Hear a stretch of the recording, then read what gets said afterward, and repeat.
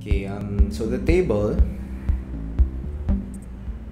Uh, Les mentioned to me that he wanted. He didn't want anything modern or uh, Western looking. He wanted something that looked local.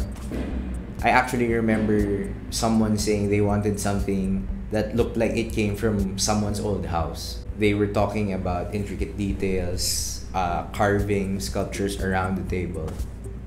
I mentioned to them it was a long process and it entails a lot of things. So we didn't have the luxury of the time and and other details. So I asked Les, why don't we look for local materials? Let's build something that can easily be delivered within our necessary time frame.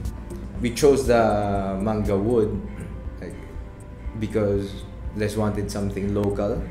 And a lot of the furniture makers now they would use mahogany. And when you mention mahogany it sounds so western already.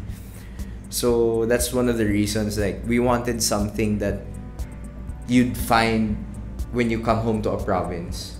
Manga is a bit yellowish.